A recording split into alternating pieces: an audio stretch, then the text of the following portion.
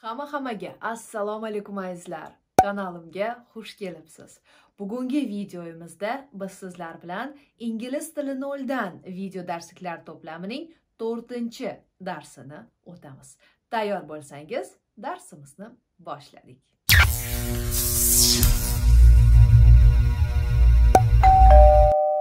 Bugungi video darsimda men sizlarga ingliz tilida qanday qilib to'g'ri gaplar tuzish kerakligini o'rgatmoqchiman azizlar.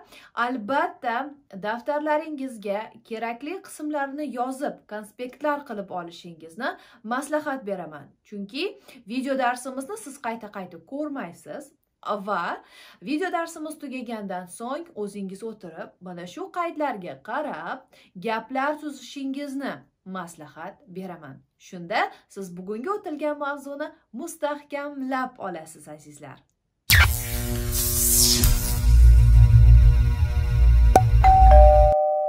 Ingliz tilida word order yoki sentence structure ya'ni gaplardagi gap bo'laklari ketma ketligi gap tuzilish tartibi. Lekin darsimizni boshlashdan avval keling gap bo'laklarini so'z turkumlarini ko'rib chiqamiz. Demak ingliz tilida noun verb pronoun adjectives adverbs prepositions articles conjunctions interjections degan bo'laklar ya'ni so'z turkumlari bor azizlar. Va bularni biz gap tarkibida gap bo'laklari e, sifatida e, ishlatamiz. Keling har birini qanday vazifa bajarishini va nima ekanligini ko'rib chiqsak. Demak noun bu ot. U bizga shaxsning ya'ni odamning yoki narsaning yoki joyning nomini bildiradi.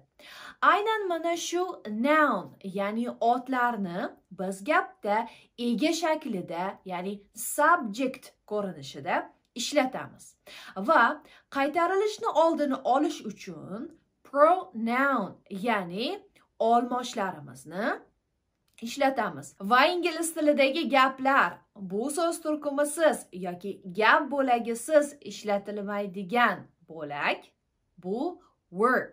Ya'ni so'z turkumi sifatida u uh, fe'l ko'rinishida keladi ya'ni word. Lekin gap tarkibida ham u ya'ni kesim bo'lishiga qaramasdan uning nomi o'zgarmaydi. U verb degicha qoladi azizlar. Keyingi so'z turkumlari esa adjectives and adverbs ya'ni adjectives sifat. U bizga otning shaklini rangini hajmini qayerdan keltirilganligini nimadan yasalganligini bildiradigan so'z turkumi. Adverbs esa u bizga fe'lning ish harakatining qay yo'sinda tezlikda qanday bajarilganligini bildiradi. Qolaversa adverbsni ya'ni ravishlarni biz boshqa bir ravishlarni E, tasvirlash uchun ya'ni qay darajadaligini aytish uchun va sifatlarni ham qay darajadaligini aytish uchun ishlatamiz azizlar. Keyingi so'z turkumi bizda conjunctions. Conjunctions nima? Conjunctions bu bog'lovchilar ya'ni and but uh, or va hokazo. Keyingisi esa interjections.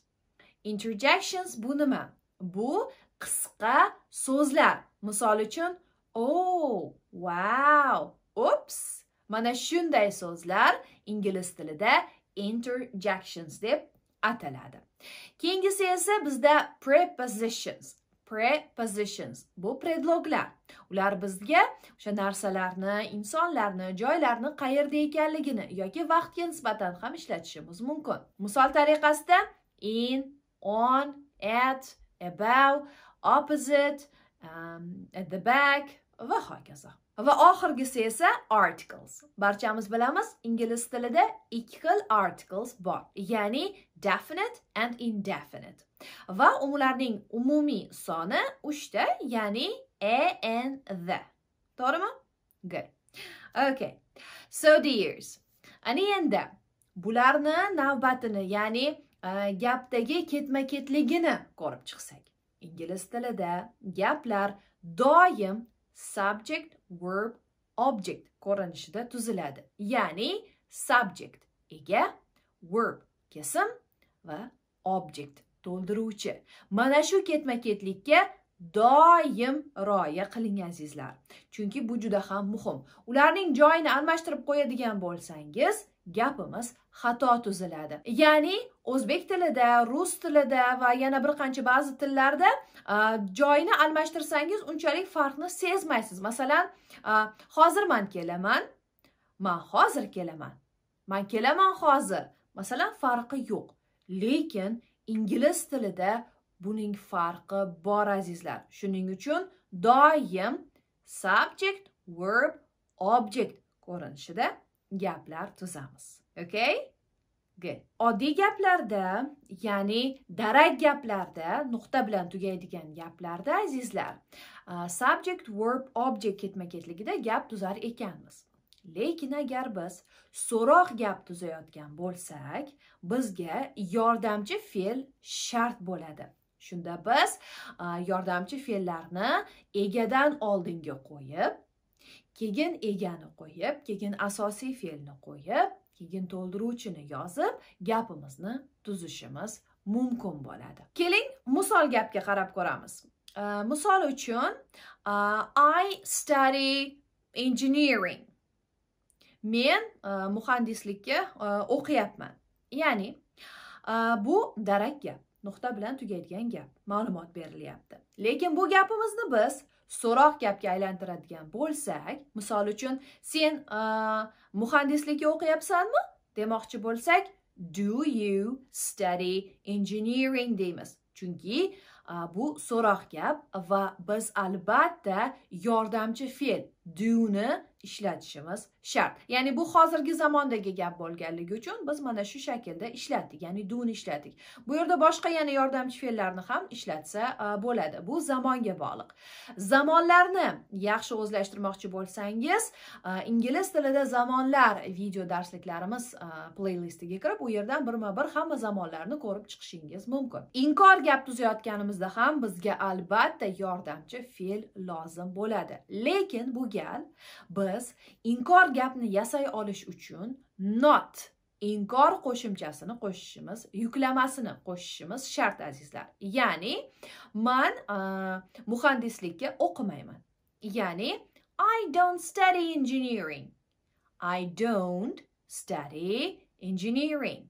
Okay? Ya'ni do ishlatildi yordamchi fe'l va unga not yuklamasi qo'shildi. I don't. Men o'qimayman. I don't study engineering. Men muhandislikka o'qimayman. Is it clear? Okay good job. Demak mana shu ketma ketlikda biz gaplar tuzishimiz mumkin. Demak darak gapda biz subject verb object ketma ketligida gap tuzamiz. So'roq gapda auxiliary verb yordamchi fe'l subject main verb asosiy fe'l va object ko'rinishida gap tuzamiz. Tuzamiz. Inkor gaplarda esa subject auxiliary verb not main verb and then object ko'rinishida gaplar tuzamiz. Lekin azizlar doim ham mana shu subject verb object so'zlari barchaga ham tushunarli bo'lmaydi. Bunda biz yana ham tushunarliroq bo'lishi uchun mana bu ketma ketliklarga savollarni to'g'ri qo'yib olsak barchasi aniq va ravshan bo'ladi. Demak gap tuzayotganimizda biz avvalambor who who so'rog'iga javob beradigan so'zimizni qo'yib olishimiz kerak. Undan keyin esa what what so'rog'iga javob beradigan e, so'zimizni qo'yib olamiz. Bunda who qismida bizda e, subject ya'ni ega birinchi bo'lib turadi. What qismimizda esa albatta verb ya'ni verb fe'l va uning objekti. To'ldiruvchisi albatta birga kelishi shart ingliz tilida verb va object bir biridan hech qachon ajratilmaydi. Ya'ni subject verb object ketma ketligida kelishi kerak. Shunda who what so'roqlari doim yonma yon turadi azizlar. Va undan keyin how so'rog'iga javob beradigan so'zimizni qo'yishimiz kerak. Bu esa bizda manner ya'ni qay holatda qanday qilib so'roqlariga javob beradigan so'zni qo'yishni anglatadi. So'ngra esa biz where ya'ni place joy when time vaqt va why reason or purpose ya'ni maqsadni qo'yamiz. Ingliz tilida place time purpose reason doim gapni oxirida keladi. Esingizdan chiqmasin. Mana bu gapga e'tibor qiling. Sara opened the door of the drawer quietly in her room last night to avoid waking her baby up. sara who opened the door of the drawer. What? Quietly. How? In her room. Where? Last night. When? To avoid waking her baby up. Why? O'ylaymanki, mana shu gap misolida ketma-ketlikni tushunib oldingiz. Demak, savollar ketma-ketligi who, what, how, where, when, why. Mana shu ketma ketlikda gaplar tuzishga harakat qiling. Ya'ni har bir so'zingiz ketma ketlikda aynan mana shu savollarga javob bersin. Va esdan chiqarmangki mana shu what qismi ya'ni what so'rog'iga javob beradigan qism albatta verb va objectdan iborat bo'lishi shart. Ya'ni ingliz tilida verb objectdan ajratilmaydi. Misol uchun mana shu gapimizdagi open the door of the drawer. Open it, harakat, fe'l, kesim. The door of the drawer. Tortmaning eshigini. Va bular bir-biridan ajralmaydi. Va ana endi esa how, ya'ni how so'rog'iga javob beradigan qismiga ham e'tiboringizni qaratishingizni xohlardim azizlar. Odatda what and where doim birga keladi. Lekin ba'zida istisnolar bor. Ya'ni ikki istisnoni hozir ko'rib chiqamiz. Demak birinchi holat. Agar bizni fe'limiz harakat fe'li bo'lsa how ya'ni how so'rog'iga javob beradigan so'z doim where ya'ni joydan keyin keladi. Misol uchun mana bu gapga e'tibor qiling. Laziz went to hospital by car last night. Mana shu gapimizda uh, how so'rog'iga javob beradigan so'z ya'ni by car mashinada so'zi where hospital so'zidan keyin kelyapti. Ikkinchi istisno holatimiz esa qachonki mana shu how so'rog'iga javob beradigan uh, ravishimiz ya'ni ly adverbimiz fe'ldan oldin kela oladi. Ya'ni bu qanday? Sara opened the door quietly deyishimiz mumkin yoki Sara quietly opened the door desak ham gapimiz to'g'ri bo'ladi. Ya'ni ly bilan tugaganligi uchun biz uni fe'ldan oldinga qo'yishimiz mumkin. Ana endi esa where, when, why qismiga e'tibor beramiz. Ya'ni joy, vaqt va sabab. Kelishi. Agar biz vaqtga urg'u berayotgan bo'lsak ya'ni ish harakati aynan qachon bajarilganligiga e'tibor beradigan bo'lsak biz bunda e, buni oldinga o'tkazamiz. Qachonki sababga urg'u berayotgan bo'lsak biz uni oldinga o'tkazamiz. Qachonki biz vaqtga urg'u berayotgan bo'lsak biz uni oldinga o'tkazamiz. Agar gaplashayotgan bo'lsak ya'ni og'zaki nutqda biz buni ozgina bunda ovozimizni ko'tarishimiz e, lozim bo'ladi. Ya'ni aynan mana shu so'zga urg'u qo'yayotgan bo'lamiz. Lekin yozma e, yozilayotgan bo'lsa bunda biz albatta e, uni e, vergul bilan e, ajratib qo'yishimiz kerak azizlar. Mana bu gaplarga e'tibor qiling. Last night sara opened the door of her drawer. Bu yerda qaysi qismga e'tibor berilyapti? Ya'ni qaysi qismga urg'u qo'yilyapti? Albatta last night o'tgan kecha. Bu yerda biz uchun muhim bo'lgan narsa bu last night. In her room sarah opened the door of her drawer quietly. In her room so'zi oldinga chiqdi azizlar. Demak bu yerda biz joyga urg'u beryapmiz. Ya'ni bu ish harakati qayerda bajarilganligiga. Va oxirgisi to avoid waking her baby up sarah opened the door of her drawer quietly in her room. Birinchi ya'ni o'sha vergulimizdan oldingi qism bu to avoid waking her baby up. Va bu yerda muhim bo'layotgan qism bu reason. Sabab to avoid waking her baby up. Clear? All right. Va yana bir muhim uh, nuqtaga diqqat qilamiz azizlar. Where ya'ni joy. Qachonki biz joy haqida gaplashayotgan bo'lsak ya'ni masalan deylik gapimizda bir qancha joyni nazarda tutayotgan bo'lsak. Misol uchun mana bu gap. Bobur bought that suitcase in a department store in Oxford Street in London. Bu yerda e'tibor qilsangiz, uchta joy nomi aytilyapti. In a department store in Oxford Street in London.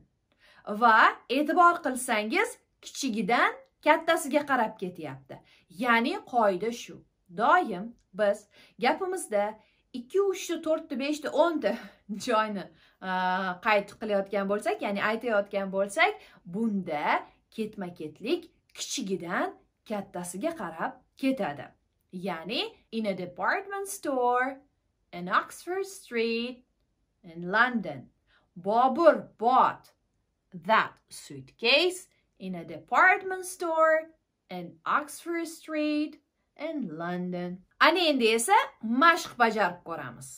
Tayyormisiz? Good.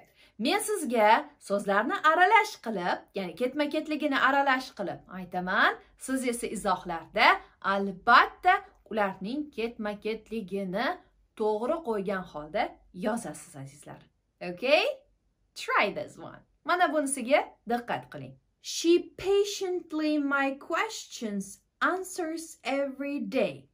She patiently my questions answers every day. Qani, yozingchi izohlarda sizningcha bu gap qanday to'g'ri tartibda tuziladi? Albatta. She answers my questions patiently every day.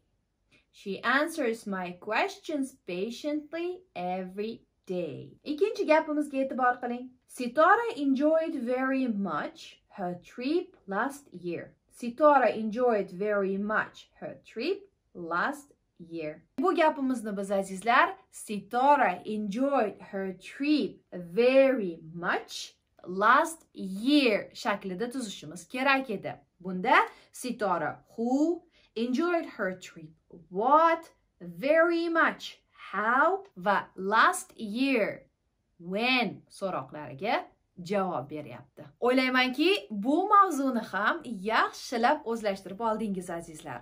Va bundan keyin gaplar tuzayotganingizda hech qanday muammo bo'lmaydi inshaalloh. Eng muhimi esa who what how where when why ketma ketligida so'zlarni joylashtirsangiz bo'ldi azizlar. Uyga vazifani esa hoziroq video darsimiz tugashi bilan telegram kanalimga kirib u yerdan olishingiz va javoblaringizni mana shu video tagidagi izohlarda yozishingizni kutib qolaman azizlar. Va qolaversa har qanday savol va takliflaringizni ham izohlarda yozib qoldiring azizlar. Keyingi darsimizda ko'rishguncha goodbye!